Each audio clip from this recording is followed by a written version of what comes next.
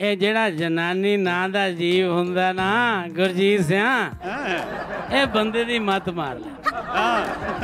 ਪਹਿਲਾਂ ਰੱਬ ਨੇ ਬਣਾਈ ਸ੍ਰਿਸ਼ਟੀ ਹਾਂਜੀ। ਫੇਰ ਕੀਤਾ 10 ਦਿਨ ਰਾਮ। ਫੇਰ ਬਣਾਇਆ